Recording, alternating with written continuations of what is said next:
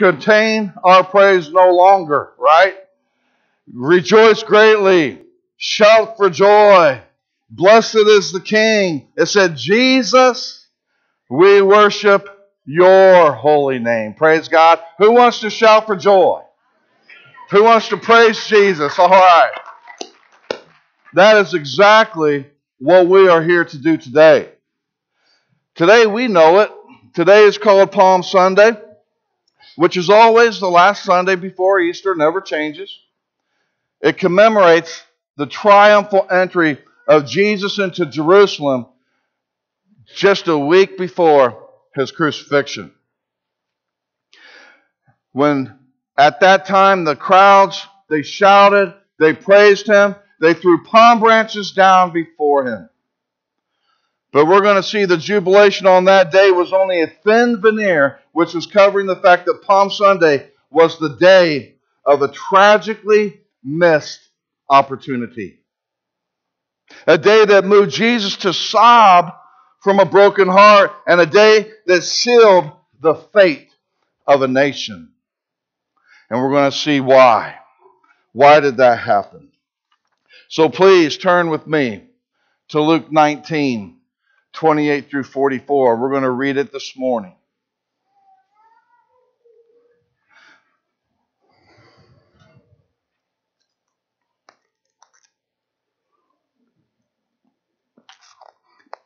After he had said these things, he was going on ahead, going up to Jerusalem.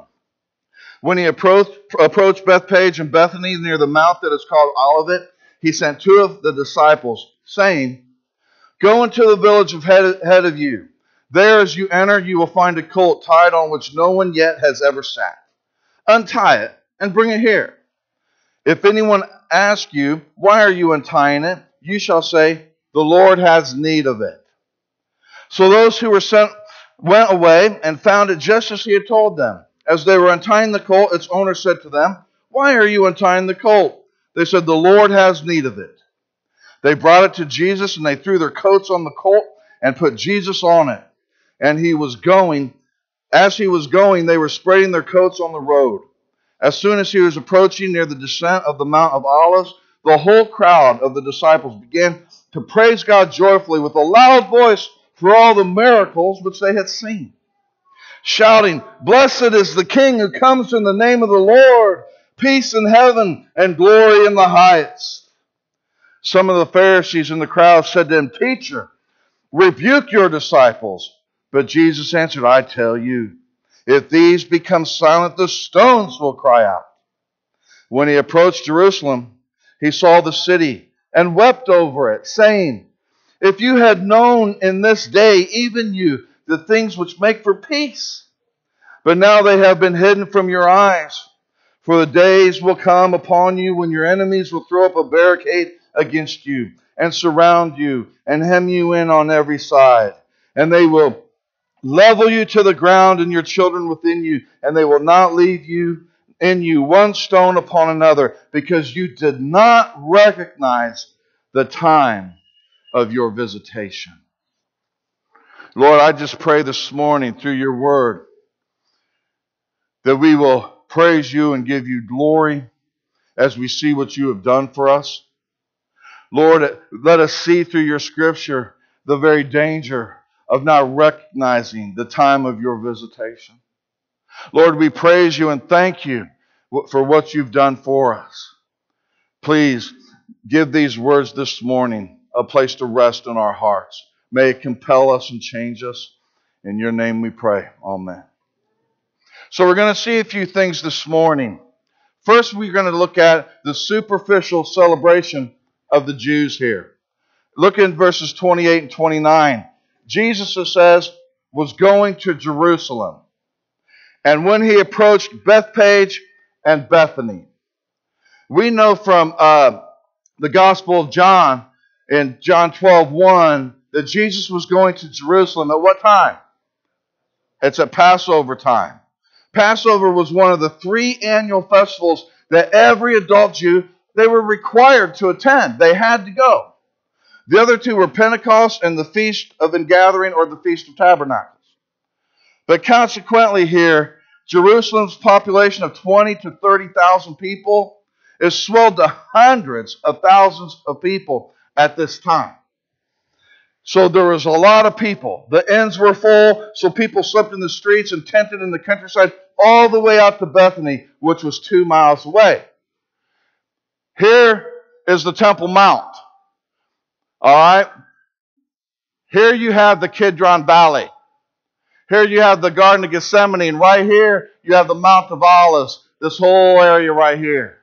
And this is where Jesus comes in, right in here, when he starts going down, and he, he's at Bethany, starting here about two miles away. Okay? The buzz was around town. Jesus is here. Pilgrims from far away were being told of the miracle worker, and especially his latest uh, miracle, which was what? It was the raising of Lazarus from the dead. So when Jesus arrived here at Bethany, it was a place where only a few months earlier he had risen, uh, he had raised Lazarus from the dead. Pretty big. The crowd swarmed at this time out to see him. John 12, 9 tells us that they came not for Jesus' sake only, but that they might also see Lazarus, whom he raised from the dead. To understand the significance of this, to understand the significance of Jesus coming to Bethany at this time, let's just step back a little, okay? So at this time, a few months earlier, at the time when Jesus raised Lazarus, the religious establishment had a problem. They were so infuriated by the miracle and the fact that many were believing in Jesus because of it, and they were angry. They were angry. They held a meeting and in that meeting in John 11, 45 through 53, they voted to now kill Jesus. We're going to kill him. We're so angry with what he's done. This has gone on too far. It's time to kill this guy. It's time to kill him. So, knowing this, Jesus knew he went into temporary seclusion with his disciples to the isolated village of Ephraim, about 15 miles north of Bethany. Well, the Pharisees, they were unable to find him. So they put a hit out on Jesus and ordered anyone who knew where he was to report it so that they could come, the Bible says, and seize him and kill him. In John 11, 53 through 54 and verse 57. They're out to get him. They want to kill him. So at this time, the crowds were seeking Jesus but could not find him. And they were starting to wonder something. They were wondering if he himself would risk this death, would he attend Passover? I wonder if Jesus will come to Passover. But of course, the Pharisees nor the crowds understood that Jesus came into this world for that very purpose to die. That was his purpose. See, we die because we are born. Jesus was born to die. Little did they know. Little did they know. What a magnificent statement of truth that Jesus was born into this world for this very purpose at this very time to die for us. So, continuing through the timeline, go over to Luke 18 31 through 33, if you'd like. Then he took the twelve aside and said to them, Behold, we're going up to Jerusalem. And all these things which are written through the prophets about the Son of Man will be accomplished. For he will be handed over to the Gentiles and will be mocked and mistreated and spit upon. And after they have scourged him, they will kill him. And the third day, he will rise again. Wow. So our Lord's temporary withdrawal to Ephraim before showing himself at Bethany was only to prepare his heart for the ordeal. The ordeal that he was about to face for us. The ordeal he was about to face for you. See, he had us in mind from eternity past, and he had us in mind on that day. And to this very day, he has mankind in mind. Interestingly, though, now that Jesus was back, the Pharisees and the Sadducees seeking the crowds uh, seeing the crowds were so excited over this risen Lazarus, they decided to not only put Jesus on the kill list, they decided to add Lazarus to the list. We're going to kill him too. So they just put out Lazarus on the list in John 22, I mean John 12, 10. You can imagine their embarrassment. Can you imagine what an embarrassment the risen Lazarus was to the Sadducees, who themselves taught there was no resurrection of the dead? And right here stands somebody contradicting everything they were teaching. He was risen from the dead, so going to kill him too. Not to mention that when Jesus himself would rise from the dead, which we're going to look at next week. Amen? Praise the Lord. We do serve a risen Savior. So, in its, uh, you know, truly, pride stands in the way of reason, of proof, and truth. It was right there for them to see. But in preparation for his entry into Jerusalem, Jesus did something that was very, very unusual, very unusual, especially for him. Jesus normally walked everywhere they went. When you go to Israel, it's not a big country, but it's a big country if you have to walk across it. I mean, they walked everywhere they went. Charles Spurgeon, I went off the topic here. He just said in a message I listened to, people in his day would walk 10 miles to just come hear the Word of God. I'll just leave it there. He normally walked everywhere he went. But on this day, what did Jesus do? He sent his disciples to obtain a colt, a very young donkey, to ride for his entry into Jerusalem in Luke 19, verses 30 through 34. And the news now, the news of his coming, spread like wildfire. The miracle worker is coming, verse 37. Here comes Jesus, he's coming. He's actually going to come for Passover. The crowds following him from Bethany were met by the multitudes coming out of Jerusalem. And the two streams came together and began to throw their coats on the ground before him, as well as throwing the palm branches and raising the palm branches. John 12, 12 through 13. What are palm branches? They're a symbol. They're a symbol and emblems of victory and triumph. We're victorious. The king is here. We're triumphant. He's here. But we know this celebration will end in a crucifixion. There's coming a day of celebration, though, praise God. Did you know that there's coming a day of celebration when we shall, with the multitudes, wave our palm branches to the triumphant Lord God? Did you know this will happen again, but it will happen in glory? Revelation 7 9 through 10 says, After these things I looked, and behold, a great multitude, which no one could count from every nation and all the tribes and peoples and tongues, standing before the throne and before the Lamb, clothed in white robes, and palm branches were in their hands. And they cry out with a loud voice, saying, Salvation to our God who sits on the throne and to the Lamb. There's coming a day when we all will have palm branches in our hand. And this time we will be praising Him there in heaven together with all the saints. Praise God, praise the Lamb. Amen. That will truly be uh, uh, one day that we will see and praise God that Jesus emptied Himself, that He gave Himself up for the church, that He paid the price for our sin. Wow. But now let's just go back to Jerusalem. They began to praise God joyfully, the word tells us, for all the miracles they had seen, for all the miracles they have heard about, as they quoted Psalm 118 26. But notice something with a one word substitution, which revealed what was in their hearts, which revealed the true reason for their celebration. Psalm 118 26 reads, Blessed is the one who comes in the name of the Lord. They chanted, Blessed is the King who comes in the name of the Lord. Don't overlook that subtle yet monumental word change. You with me? In all four of the Gospels, the emphasis of their celebration was, was that the King was coming. They also cried, Hosanna, as we see in the other Gospels, meaning save now.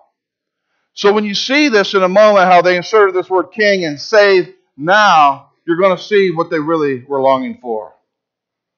Luke 19 11 tells us this. This will give you a glimpse into their heart. They supposed that the kingdom of God was going to appear immediately. Here at the Passover, they thought Jesus was about to reveal himself in all his power and glory as the Messiah King, freeing them from Roman bondage, freeing them from the persecution they were under, and bringing peace to them at last. They wanted him there now. So, with all the shouting going on of the crowds, the Pharisees, they were beyond themselves. Remember, they wanted to kill him. They were already angry at him for raising Lazarus from the dead. And now they're absolutely honked off. They're really mad. They're beyond themselves. The Pharisees couldn't stand him and frustrated at their inability to seize him, lest the crowds would turn on them. They called on Jesus to rebuke the crowds. Shut these crowds down.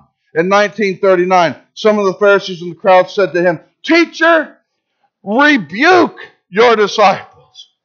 Keep them quiet. The problem is they did not believe Jesus was their prophesied Messiah and Savior, and they were furious at the messianic reception that was given to Jesus. Notice what Jesus did not say. Oh, you're right. I don't deserve this praise. They're mistaken thinking I am the Messiah. Oh, okay. Hey, crowd. Our religious leaders are right. Please stop this nonsense. Please quiet down. The Son of God didn't say that, did he? He rejected their demand and he stated on this occasion, I tell you, if they keep quiet, the stones will cry out. No one staying quiet on this day. If they had remained silent, the very stones on the ground would have started singing praises to God. Can you imagine that? Do you think Jesus was just making that up? Could Jesus make stones talk? He could too. He's God. And he was going to get his praise and his glory that day. Why? Why was this day and this event so significant?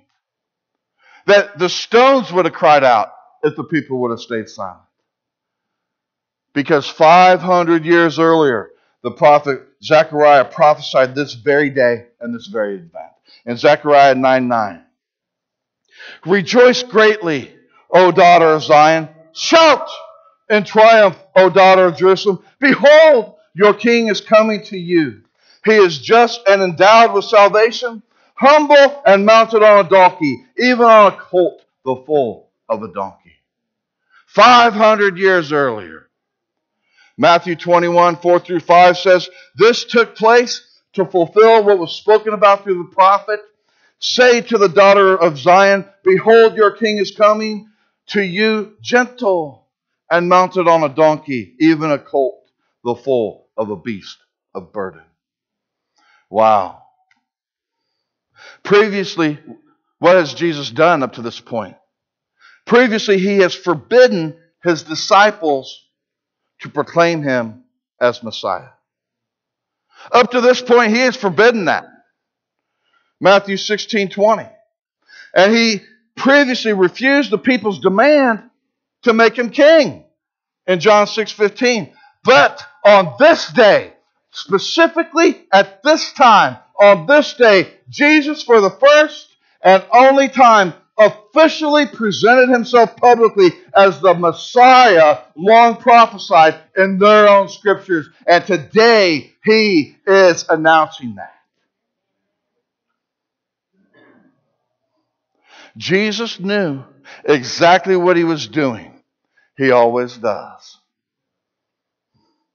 In the timing of heaven, he was fulfilling scripture to the letter and producing the donkey to ride into Jerusalem.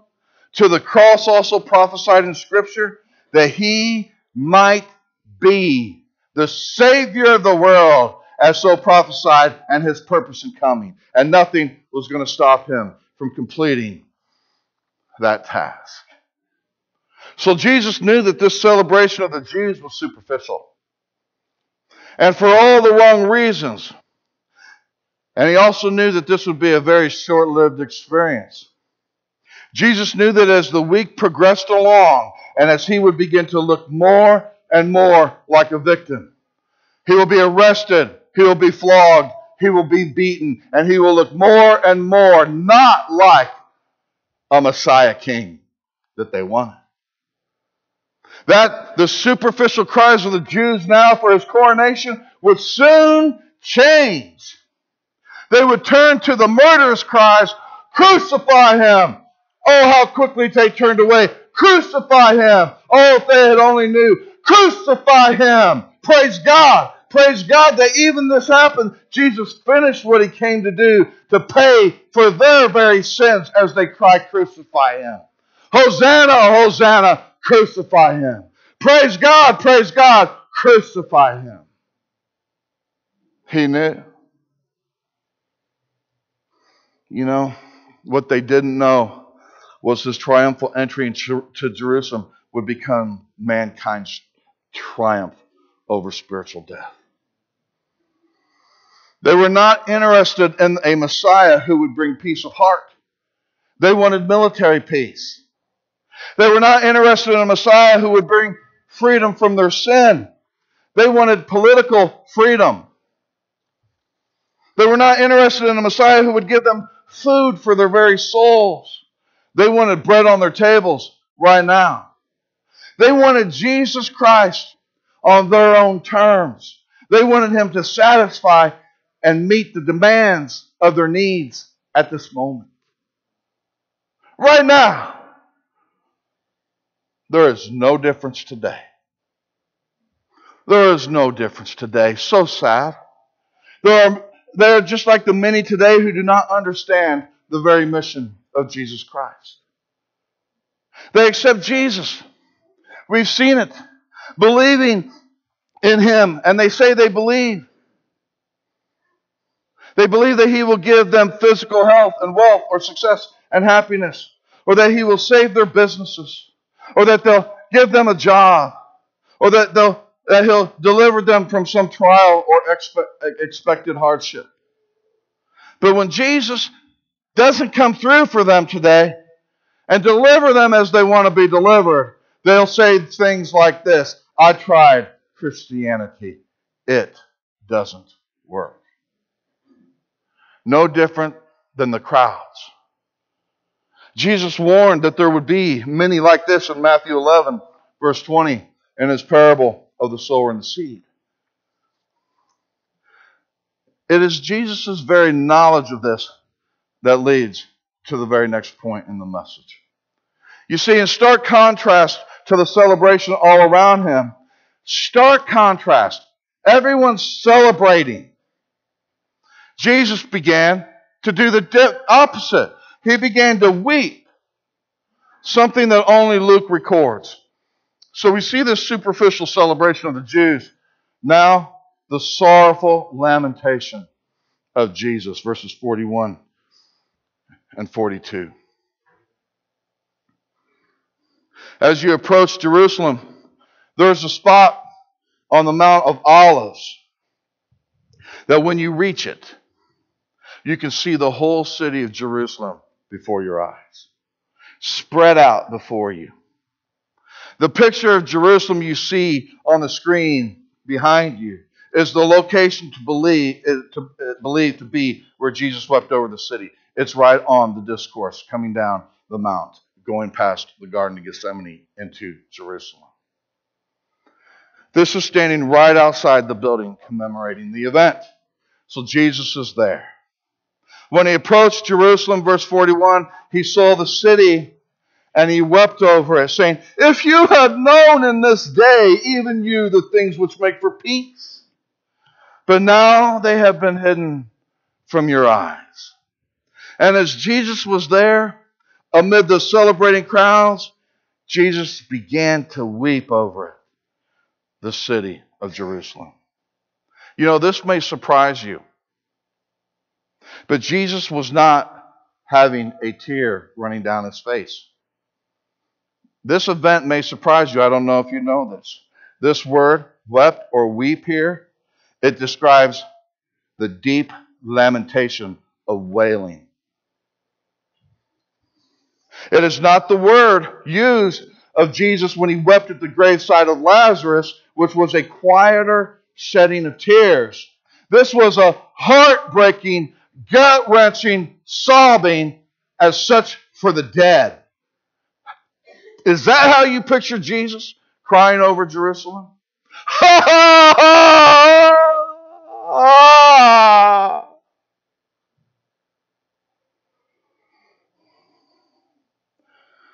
Why? Why was he weeping? He says, If you had only known. But now. Oh, the tragedy of it all. The tragedy is just seen on plays. Oh, how so very sad to have had the Son of God right there with you, only to have been so blinded. God, his very self, had come to them in the person of His Son, their Messiah, and Jerusalem missed it.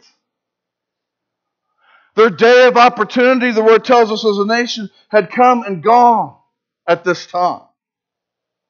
They did not recognize what? The things that make for peace, it says in verse 38. Even though they were shouting, Peace in heaven and glory in the highest. And it went right over their head. You see, Israel's greatest enemy was not Rome, it was the sin within them.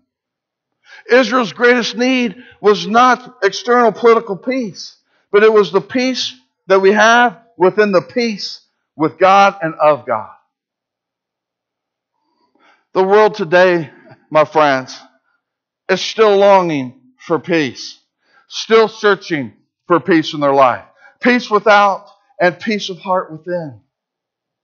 Yet still, just like Jerusalem, they do not know the things that make for peace. I can tell you right now, they do not know the things that make for peace. How can I tell you that with such specific uh, statement as that? Because Romans 3:17 says the world apart from Christ does not know the path of peace.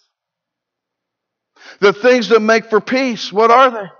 Repentance and the forgiveness of sins that comes with receiving Jesus Christ as one Savior and his and as our sin substitute, and then allowing Him through the Holy Spirit to indwell us and live a transformed life.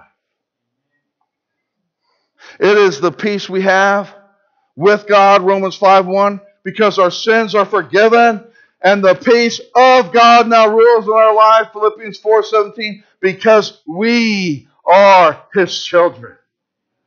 Praise God for that. Are you thankful for that? But when the Prince of Peace is rejected, we must see something here in these passages. There is no peace. There's no peace whatsoever when Jesus Christ is rejected. You see, one day, when the resurrected Jesus returns, something will happen. Israel will recognize Jesus as the Messiah that they crucified, and they will repent in tears, and they will finally receive him. Zechariah 12:10. Praise God. There's coming a day where they will recognize him. But what must we see here? Look at something. Look at the love, look at the compassion of Jesus Christ. Look at his love and his deep compassion. You see, it is not a matter of indifference to Jesus whether they believed in him or not. It's not a, a, matter of indifference to Jesus whether you believe in him or not. He cares very much. The blindness, the sinfulness, the hardness of man's heart, the unbelief of mankind breaks the very heart of the Lord to the point of weeping and wailing. Benjamin Beddome said, The Son of God in tears, the wondering angels see. Be thou astonished, O my soul. He shed those tears for thee. He wept that we might weep. Each sin demands a tear. Praise God. In heaven alone, no sin is found, and there's no weeping there. I like that last line. I need a little bit more shedding tears over sin.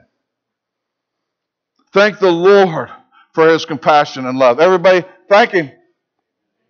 Okay. But let's look at something else. Later in that final week, we see the Savior heartbroken all over again. In Matthew 23 37 through 39, listen. Jerusalem, Jerusalem, who kills the prophets and stones those who are sent to her. How often I wanted to gather your children together, the way a hen gathers her chicks under her wings, and you were unwilling. Behold, your house is being left to you desolate. For I say to you, from now on you will not see me until you say, Blessed is he who comes in the name of the Lord. One day Jesus is coming back. Notice what Jesus said. You were unwilling. You were unwilling. So many times, in so many ways, Jesus is still pleading with mankind today Come unto me. Come unto me. Don't be unwilling. You have a choice. Come to me. But so many stubbornly, still to this day, plot like the Pharisees to kill him and say, I'm not willing. This Easter, this very Easter, looks like, so many in the past, so many Easters before us, crowds will gather in churches all across the land, all across the world. And they will celebrate Jesus' crucifixion and resurrection. Yet they will still not believe him as their personal Lord and Savior. That breaks my heart. That is heartbreaking beyond words. Yet to those who have received him and to those who will receive him on Easter, we can say, Praise God, blessed is he who comes in the name of the Lord, because he came to me, and I, through the Holy Spirit, recognized that truth, received him, and accepted him. Praise you, Lord. He came for me. He came for me once and He's coming for me again. Praise God. Can you all smile? I'm going to look around every single face and I want to see a smile. Some of you, man, are too gloomy. God's alive and He's coming again. Praise God. All right. We got to thank Him for His love. We have to thank Him for His grace and His mercy. I will say it's so sad and tragic because when anyone turns their back on the gospel offer, when they do that, they are truly rejecting the very one who loves them more than anyone else ever has or ever will. We must pray for them. Oh Lord, open up their eyes. If you know Christ as your Savior today, we can praise Him for that unconditional love. And if you're here today and you're unsure if you have this saving knowledge of Jesus Christ, open your heart to this one who loves you, who's come to you and says, I want to triumphantly enter into you if you'll receive me. Do that today. Don't let your day of opportunity go by. We must, please, please, we must understand why Jesus Christ was weeping. We must get this. We must grasp this. Here again, only Luke records the reason for the Lord's weeping. It was this Jesus saw the coming judgment. The third point this morning is the shocking devastation of Jerusalem. Verse 43 through 44 For the day will come upon you when your enemies will throw up a barricade against you and surround you and hem you in on every side. And they will level you to the ground and your children within you. And they will not leave you they will not leave in you one stone upon another because you did not recognize the time of your visitation. That is horrific. That is horrifying. Here, Jesus foretells the very shocking fall of Jerusalem, which is going to occur 70 years later, sometime between around 70 AD, less than 40 years away here, where the temple will also be destroyed. He says, because you did not recognize the time of your visitation. Their rejection of Jesus, their willful and persistent unbelief, it left nothing but judgment. You see, right now we're in a day of grace. We have the opportunity to receive and submit to the Holy Spirit and to follow Jesus. But there will come a day again when there is nothing left but to judge. In the providence of God, their very enemies would destroy their very beloved city. Mark 13, 1. This takes place during the week after the triumphal entry. As Jesus said, as, as he was going out of the temple, one of his disciples said to him, Teacher, behold what wonderful stones and what wonderful buildings. Here's the last time Jesus will leave the temple. He is days away now from being crucified, where he will rip up the curtain of the Holy of Holies.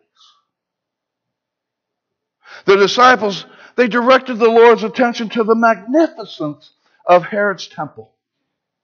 The temple, 46 years in the building, we know in John 2.19, and recognized as one of the architectural wonders of the Roman world. It was beautiful. Behold, Jesus, what wonderful stones. Josephus, the Jewish historian, he notes that some of the stones were 37 and a half feet by 12 feet by 18 feet. These were big. This was a magnificent temple. The great buildings would refer to the temple proper and the various courts within the chambers and the colonnades that were up on the mount.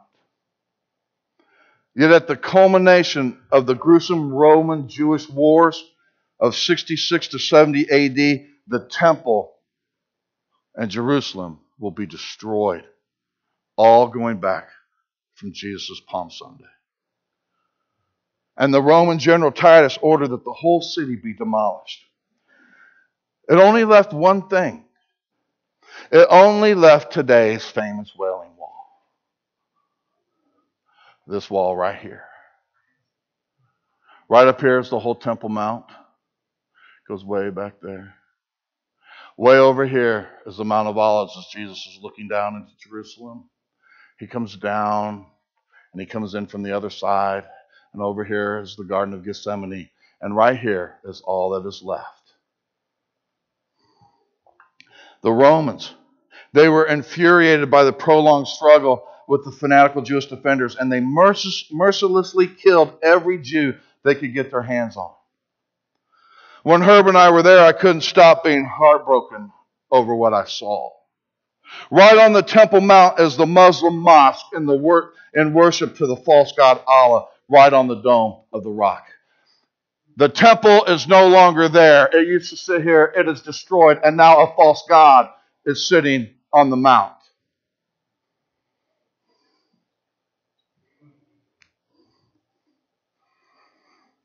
I was thankful that somebody in the group sent me these pictures. I was unaware that they were taking them.